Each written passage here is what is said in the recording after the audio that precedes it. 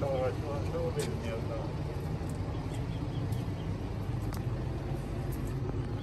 want me to move the red bin out? Uh, yeah, first.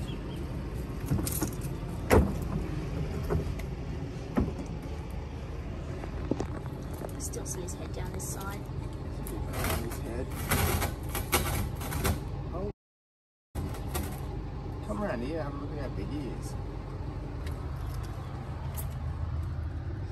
Mhm. He's chunky.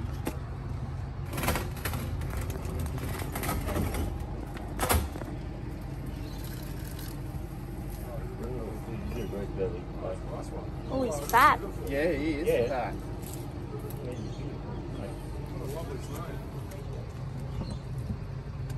So I dare say this is probably a male. You can tell by all the dings and bashes and stuff like that.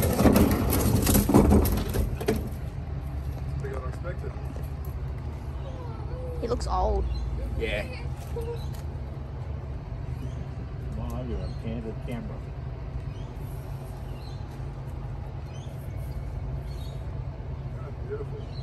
Look at that. Yeah, he's- big gash. Yeah, and that's old too. It's surprising they could usually hang around the water. Yeah, look at the creek. Well, yeah, there's a creek so close. That's what I was saying when we were coming in. I was uh, asked red belly territory here. They're everywhere, man. I accidentally ran one over with the lawnmower and stuff. His head's just, just there.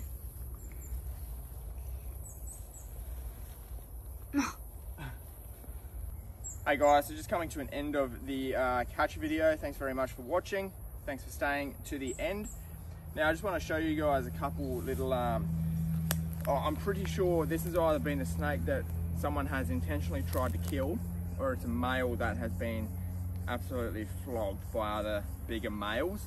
Um, if you can get a good camera angle on the left hand side of the snake here where my hook is, he's got a mad wound right there. I'll zoom in as much as I can in editing as well. Also missing some scales on this side. He's got another wound on the right side of his body as well.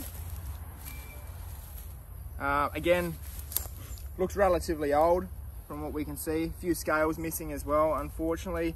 Uh, look, there's not a whole lot we can really do about this one. He's, he's perfectly fine, he's moving fine. Um, taking him to a vet is just not necessary for this snake. Um, there's not a whole lot they'll do. They'll just look at it and release him because he's completely fine. So uh, yeah, we're going to release him at this little creek area here and see if we can get him swimming. Got it? Hmm? Wrong way.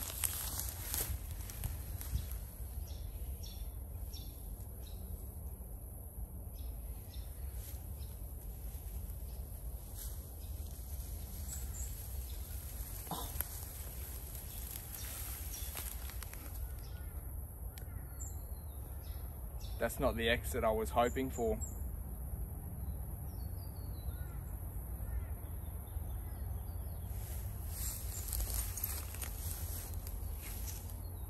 Where's he going?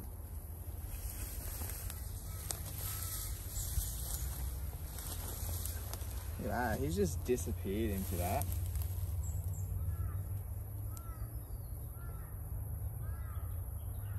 And that is a good example on why you should always wear long pants and boots. If we were to walk through here and not know we've just put a red belly here, obviously this isn't a walking path or anything like that, it's a national creek. Um, but yeah, look, if, if we were to walk through and accidentally step on him, that is when bites occur. So um, always wear boots when you're out hiking, always wear long pants. I know it's hot, but safety should always come first. Thanks for watching guys. See you guys on the next one.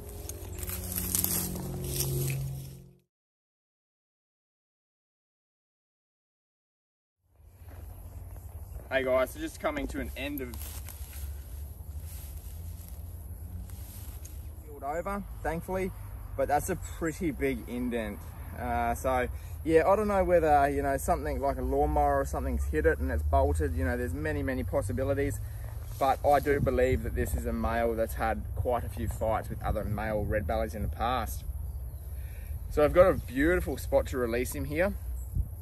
And uh, are we done? Um, there's a gash on this side as well where he's missing some scales.